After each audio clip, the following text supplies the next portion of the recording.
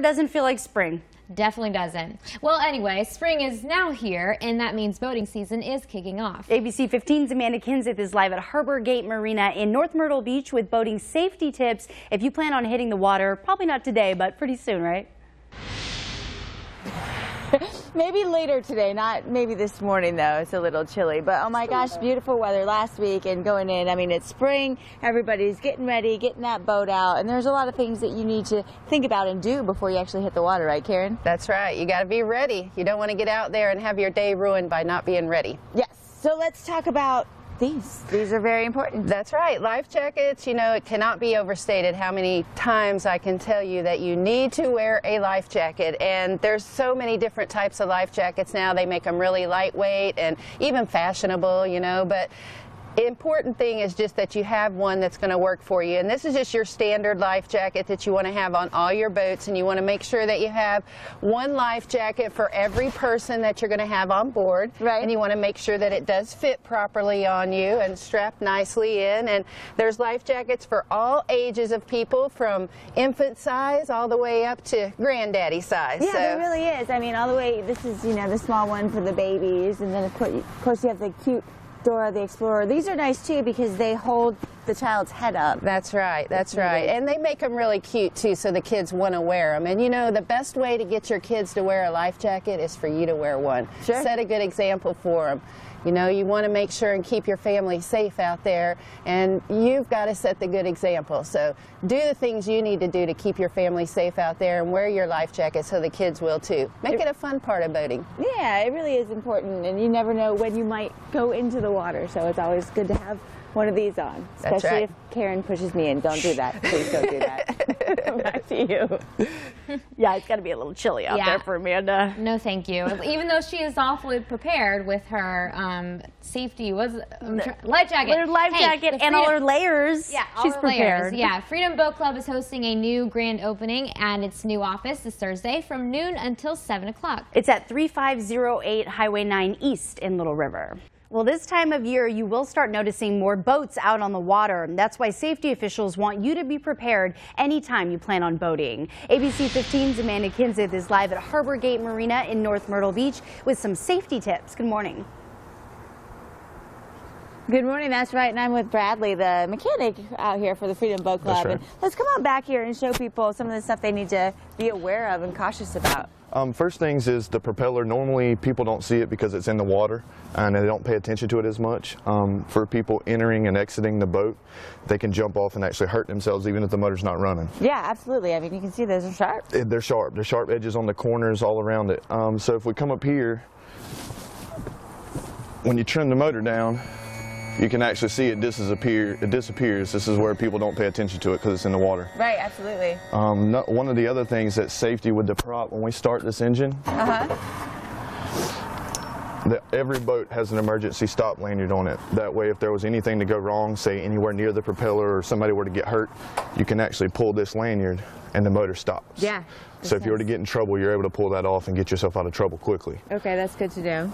And should you clip that on you or anything? You can you can clip it on you. It comes with a little clip here that you can clip on a belt loop or on a life jacket. If you put your life jacket on like you're supposed to anyway, you can clip it on your life jacket. Right. But now, as you can see too, the motor it won't even start. You wanted gotta have start that in there. with that in there. Very nice. Any other uh, quick tips for people going out? Uh, that's one of our main things we get called on is somebody not having that lanyard on and go to start their motor and wondering why it won't start.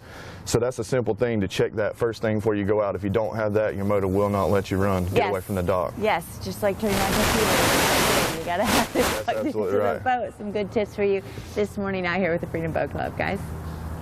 Fantastic. And the Freedom Boat Club is hosting a grand opening this Thursday at its new office. Everyone's invited to go check it out from noon until 7. It's at 3508 Highway 9 East in Little River.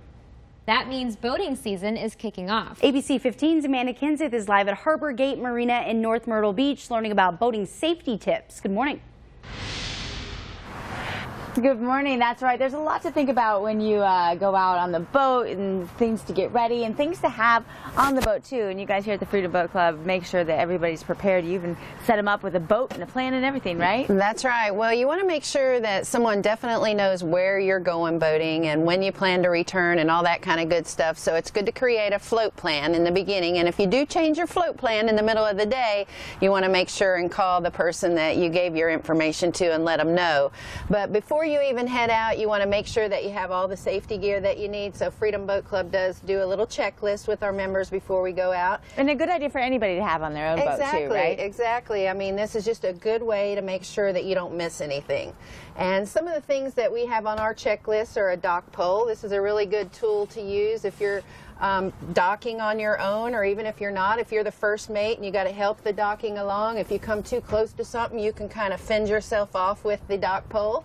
Or you can also uh, use this hook on the end of it. If you get close to the, enough to the dock to one of the cleats, you can pull yourself in. So you definitely always want to make sure you have a dock pole with you. And then we also have some other things inside of here that you want to take with you. We have a first aid kit. It's, right, always you know, important just to have. necessities that you need. And um, then you also should always have flares with you. Um, we always tell our members, you know, that make sure that when you use them, it's in an emergency situation and not for fireworks or anything like that. Not to know. party on the boat? Come on. but you know, you do want to make sure if you have to use a flare that someone's going to be in sight, that will see it at you know another vessel, someone on the beach, a, an airplane, someone that's in sight that'll actually see that. Right, these are good to have in an emergency too. So just have your boat well stocked, and uh, the checklist is a good idea for anybody going out on the water. Back to you. Yeah, some good tips right there. The Freedom Boat Club is hosting a grand opening at its new office this Thursday from noon until 7 o'clock. Everyone's welcome to learn more about FBC, and their new office is at 3508 Highway 9 East in Little River. Switching gears. Yeah, switching gears. This time of year, you'll start noticing more boats out on the water, and that's why safety officials want you to be prepared anytime you go boating. ABC 15's Amanda Kinseth is live at Harbor Gate Marina in North Myrtle Beach with some safety tips. Good morning. Yeah, that's right. Uh, Karen's coaching me through here. So what are we going to do? What we're going to do is get you behind the helm and show you, like, if you're boating on your own, how you can get this boat back in Okay. without any trouble. So the motor is started. I'm going to untie it here. Oh, great. You're just going to cut me loose in here. Yep, we're pushing you out too. Ah! What I want you to do now, if it's a really windy day and the current's really strong, you might have trouble getting in. So Uh-huh. Put the boat in reverse, Okay. turn the steering wheel all the way towards the dock. You know it's been a really long time since I've been Squeeze in a boat, right? on the handle. No, there it is. All There right. you go. Now push it backwards. There you go. Now turn the steering wheel all the way towards the dock. And look at it. It's coming in nice and neatly. All on your own without any help from anyone else. well, so far we're going well, right? Yeah. Now just put it back in neutral. And there you are. Right it in. dock. So- Yay! I didn't even know you were going to make me do that. Ah, I she like like, a little "Ah!" panic there, but see, you can do it. You can do it. And uh, we encourage women boaters too. So you know, Yes. we, we want to get all the women, anyone out here that wants to boat with Freedom Boat Club, we'll teach them whatever they need to know out here. But that's an old sailor trick. Yeah, that's great. I mean, it works real well. And then you, um, we saw too. I don't know where it is, but you know, you've got the the tool that you can use to grab and pull in, and then of course you have the rope too. Usually you have somebody over here on the dock that can help out too. And then when you're stepping off, you want to be careful too. Grab a hold of this line, and you can just wrap it around that cleat right there. And before you get off, just kind of wrap it around a little bit, and that gives you kind of a hook on it. And then hold on to that as you're kind of stepping off to the boat, and that way you don't lose the boat or yourself. Right, and then uh, my favorite is to watch Karen uh, do this because she is so super quick.